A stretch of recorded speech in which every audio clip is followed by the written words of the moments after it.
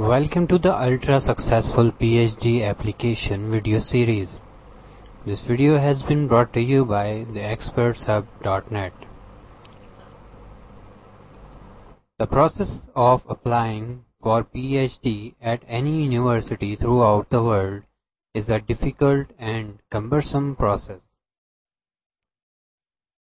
You need to know the exact steps which should be followed for a successful result of a PhD application.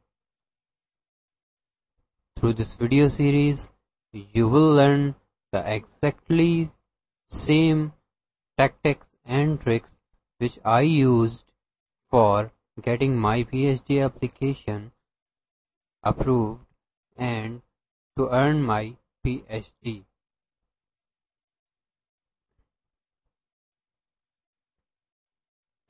Before we proceed any further, we should take a look at what is a PhD.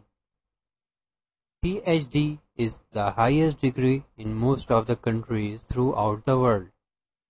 Once you have done masters, you are eligible to apply for PhD. PhD is also known as doctorate. This is not much advertised as compared to the bachelor's and master's programs of universities. It is a research-based program where students do research on a given topic and once they are finished with the research, they write a thesis. On the basis of those theses, they are awarded the doctor's degree. It often surprises me that still a large number of people don't even know about PhD. They don't know uh, what is a PhD. That might be true because I have also gone through the same thing. When I used to study at bachelor's level, I always used to think uh, don't call me dumb, but still, I used to think that the professor of mathematics, why does he use doctor before his name? If he has studied medicine, then why is he teaching mathematics? I always wondered that, man. But now I know that. Why do they teach? Why do they put doctor before their name?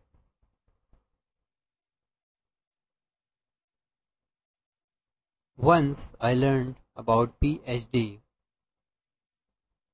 my confusions about the mathematics professors putting doctor before their name was solved.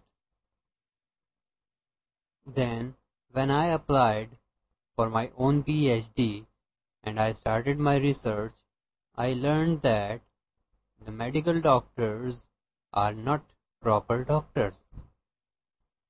Don't be amazed it is true. The medical doctors are given an honorary title of doctor, but they are not proper doctors.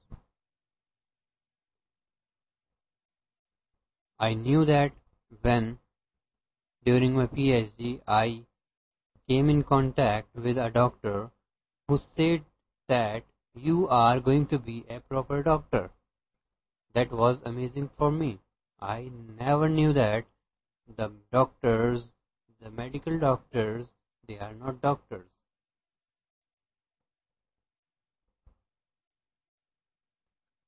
So, how this video series would help you? This video series is focused on helping you to make your PhD application successful. The first of all, the first thing is that I have also gone through the experience of obtaining a PhD and I know what it requires to apply and get your application approved for research at any university. I also know how to study for PhD, how to do research for PhD.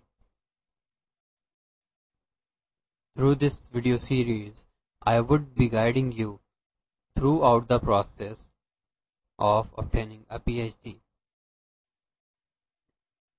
But before that, we will see if a PhD is right for you.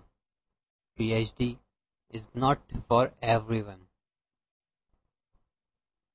We will see that in the future videos if you should go for PhD or some other thing.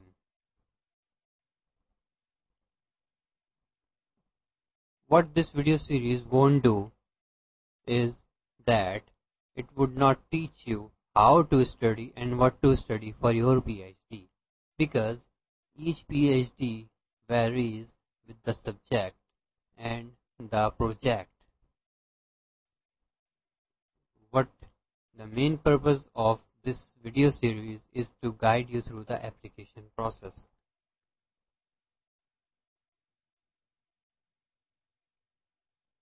The application process I will guide you through this process and this process includes first of all choosing a university and a supervising professor. I will help you. The next thing would be helping you to choose the right project for your PhD. PhD also costs money.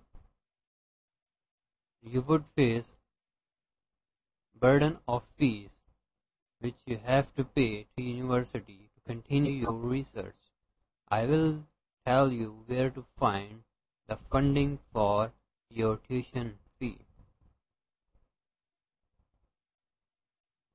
The distinction of this video series would be the secrets of highly acclaimed PhDs to make your application successful. I will tell you those secrets which the PhDs have used to get their application approved. That includes me as well. Thank you for watching.